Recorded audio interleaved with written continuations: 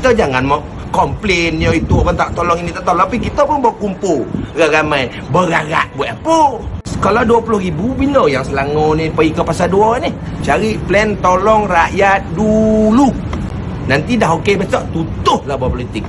Penyanyi Datuk Hatan meluahkan ketidaksenangan hatinya terhadap pihak berwajib dan segelintir rakyat yang tidak mengikut SOP apabila kes wabak hampir mencecah 20K.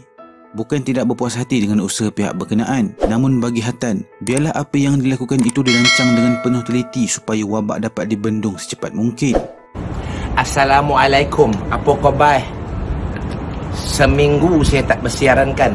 Ah tak apa. Hari ni saya nak mencerapi Eh saya paning kepala saya ni. Semalam dok, Doket berapa? Doket 20 ribu. 19 ribu 800 Ket, ket 20 ribu lah tu. Meninggal 200 lebih. Nampak tak kereta lalu? Beraung berbunyi. Makna kereta penuh ke jalan. Pasal apa? Pasal orang tak tak tahulah dah macam tak ada SOP dah macam entah tak tahu. Tapi saya pun faham dia orang ni nak pergi cari makan. Faham tapi sekarang ni apa plan untuk rakyat seterusnya sebenar ini? Sebenar.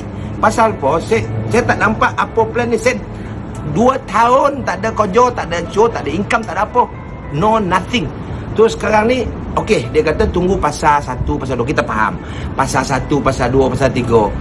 Yang dapat eh, pergi pasal Pantun dia. Mau pasal Subanjaya. Sekarang ni, kalau 20 ribu bila yang Selangor ni pergi ke pasar 2 ni? Bila? Mampu ini jadi berhenti berpolitik dulu. Cari plan tolong rakyat dulu. Okey? Tapi kita pula sebagai netizen kita pun jagalah SOP kita. Kita jangan mau komplain ya itu orang tak tolong ini tak tolong. Tapi kita pun berkumpul ramai berarak buat apa? Kita pun sama juga kita kena lah sama-sama. Okey gaman bantu kita kita bantu dia. Baru dia jadi jangan kita. Ha, faham tak? Jadi benda ni kena ada timbal balik eh. Ha, orang politik berhenti dulu politik dulu. Nanti dah okey besok tutup lah politik. Ha, biarlah sampai pagi sampai malam tak tak balik rumah tak tidur pun tak apa. Apa politik sampai pagi.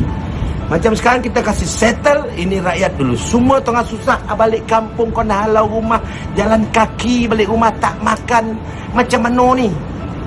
Bagilah tolonglah minta maaf lah saya cakap tolonglah tolong boleh tak Terima kasih kerana menonton. Kalau anda suka video ini, jangan lupa untuk like, share dan subscribe. Kita jumpa lagi dalam video akan datang.